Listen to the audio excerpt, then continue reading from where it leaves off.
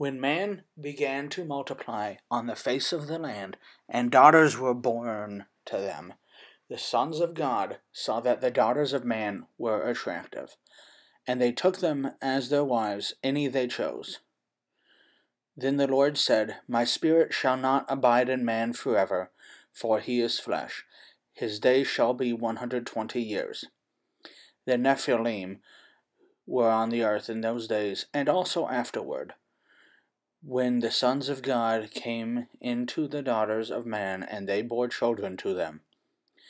These were the mighty men who were of old, the men of renown. The Lord saw that the wickedness of man was great in the earth, and that every intention of the thoughts of his heart was only evil continually. And the Lord regretted that he had made man on the earth, and it grieved him to his heart. So the Lord said, I will blot out man, whom I have created from the face of the land, man and animals, and creeping things, and birds of the heavens for I am sorry that I have made them. But Noah found favor in the eyes of the Lord.